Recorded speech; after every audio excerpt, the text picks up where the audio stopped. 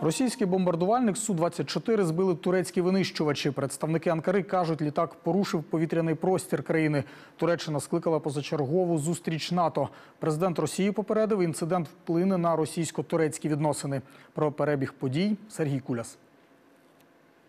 Так розбився російський бомбардувальник у сирійській провінції Латакія. Збитий за твердженням турецького генштабу на території Туреччини, він упав на туркменську гору біля кордону. Обидва пілоти встигли катапультуватися. Пізніше інформаційний центр Джиср опублікував відеокадри з пілотом, імовірно, мертвим. Його знайшли і зняли на відео вояки сирійської опозиції. Турецький генштаб повідомив, винищувачі F-16 10 разів попередили пілотів бомбардувальника про те, чим їм загрожує незаконний перетин кордону.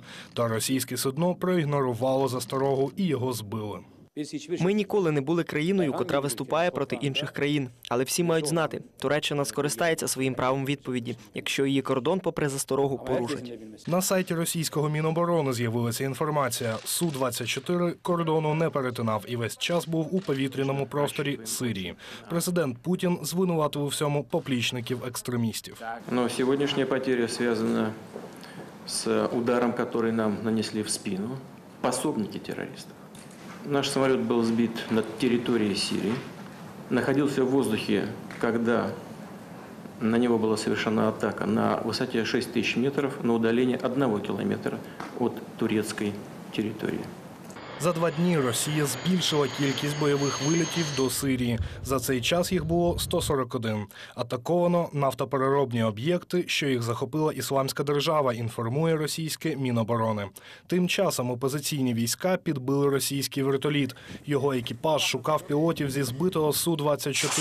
Гвинтокрил здійснив аварійну посадку. Щойно приземлився, його знищили ракетами антиурядові війська. Російську операцію в Сирії координують зі спеціального штабу, що біля Кремля. Таке відео оприлюднило Daily Mail. Зокрема, видання зазначає, цитую, у величезному холі більше ста робочих місць. Цю кімнату війни часто відвідує і сам Путін. Кінець цитати. Сергій Куляс. Новини на першому.